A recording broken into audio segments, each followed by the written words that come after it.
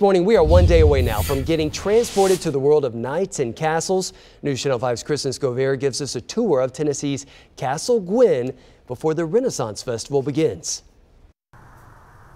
Rising from the forest about an hour south of Nashville are the towers of Castle Gwynn. Yeah, I've been living here for the last 30 years. Mike Freeman is the founder of the Tennessee Renaissance Festival and the keeper of the castle. For more than three decades, he's been building and adding on to the structure, both inside and out, fashioning gates and turrets, even this enormous doghouse for his prized Scottish wolfhounds. When I was a senior in high school, I uh, started drawing the plans to it as an architectural drawing project. Freeman took me on a tour, starting in the elevator, up the tower, and into a room filled with knights in shining armor. This is probably the fanciest Gothic suit of armor ever made.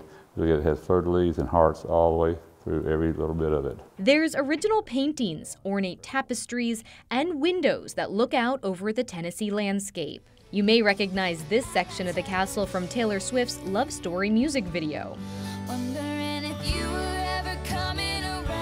To keep up with construction, Freeman says he worked two day jobs, both as a photographer and a host. He started the annual Renaissance Festival as a way to live in the castle year round. It's kind of like an art, food, and craft fair in the 16th century. It's like a walk back in time. Year after year, more than 60 artisans from all over the country come to Castle Gwynn.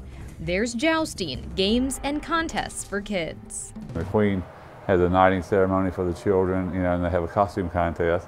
And what the kids don't know, they all win.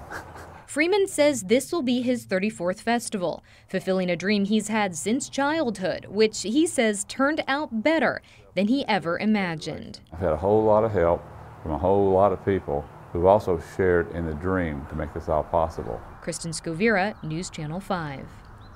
You know, you can see part of that from 840, so it's so cool to see inside. What an incredible job he's done. And you can visit that castle and enjoy the festivities every weekend during this month, all the way through Memorial Day. And we have more information right now on newschannel5.com. And we will be live out there tomorrow morning to show you all the excitement. That's going to start at 6 a.m.